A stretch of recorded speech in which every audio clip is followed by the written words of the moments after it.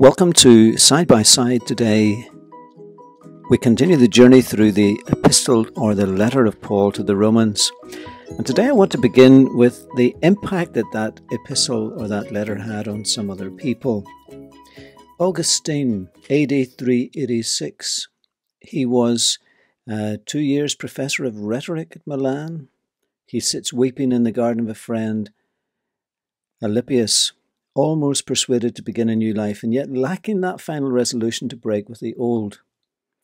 As he sits there, he hears a child in a neighbouring house singing, Take up and read, take up and read, Tolle lege, tolle lege.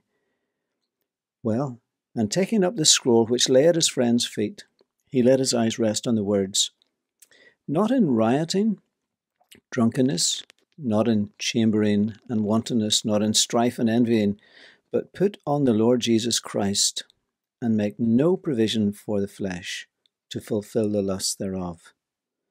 That's found in Romans 13.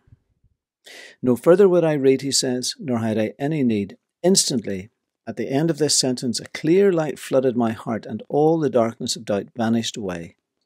What the church and the world owe to this influx of light which illuminated Augustine's mind as he read those words of Paul in Romans is something beyond our power to compute.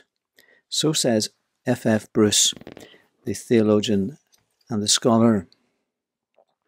Well, as I read this little letter of Paul to the Romans and we share it together, I'm very conscious of the power that it has had on so many people before in their lives.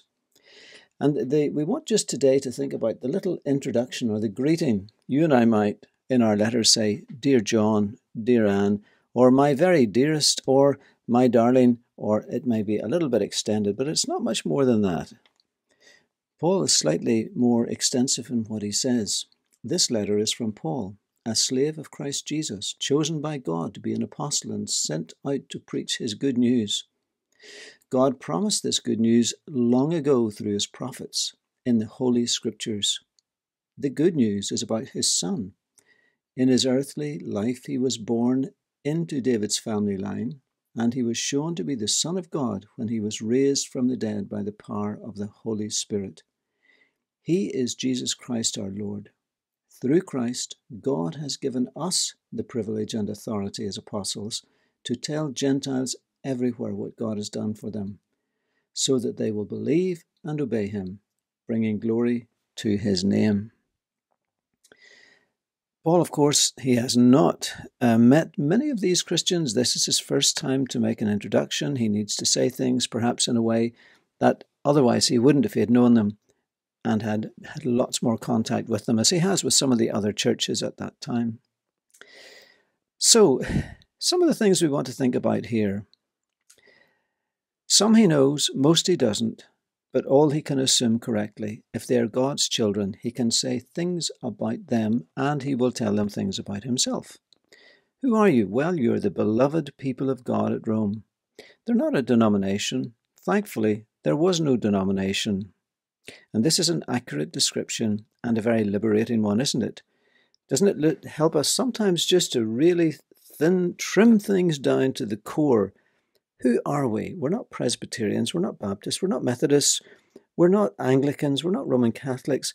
We are people who are chosen by God. We are the the ones here as it says, we are God's children, beloved people of God. Beloved people of God. And that's a great description for you and I to hold on to. Remember that is who you are. First and foremost, yes, these other associations we have and their historical connections, they are what they are. But at the root of it all, let's never forget that that's who we are, beloved people of God. Who is he? He says, Well, I am a bondservant, a slave of Christ Jesus, an apostle by divine vocation. That is a call, and you can read about that in Acts chapter 9, the story of how God spoke through his son to, to Paul on the road to Damascus. He's set apart for the preaching of good news.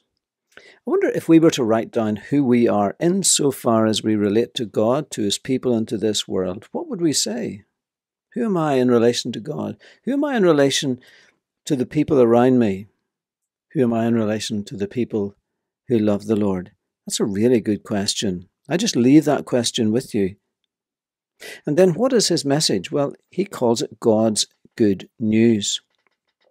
Isn't it great to hear that positive and affirming way in which what God cares to tell you and I is described? The good news. So, what makes news good? Well, I suppose it depends on what we understand about our lives.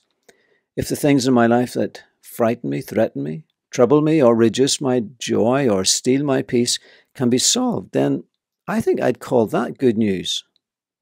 Good news deals with the bad in our lives. Now, do I know what the bad is and how it's caused? Quite often we blame things outside ourselves other people, other events, our background, our childhood, our parents. But then we soon discover, if we're really honest with ourselves, that that's not the source of the bad in my life. There's another source, and it's within my very nature. And Paul will address that in this, this letter. Verses 2 to 6 are just all one sentence in the Greek language. So it's as though this is a whole complete. He's not adding little bits, it's all one thing. And he's telling the church that this good news is all about Jesus Christ. he does mention the Jewish background, the seed of David, but Jesus Christ is, is more. He is the unique, appointed, or declared to be the Son of God, shown to be the Son of God when he was raised from the dead by the power of the Holy Spirit.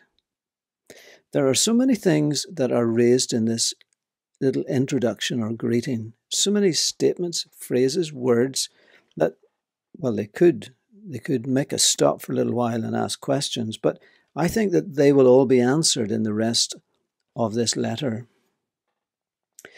So Paul understands how everything in his life is all fitted together. He talks about his own life that he was uh, been he has been called. He has been drawn. He's an apostle chosen by God, sent out to preach the good news. And even that phrase, chosen by God, isn't it really encouraging to know how he can see that even the trials and all of the different things in his life had a place in the plan of God? This idea of being separated unto God is how it's translated sometimes. And when he's writing to another church, the churches of Galatia, he says, Even before I was born, God chose me and called me. And it's really good to know that the story of his life is really God's writing and it's also good for you and I to know that the story of our lives is also God's writing.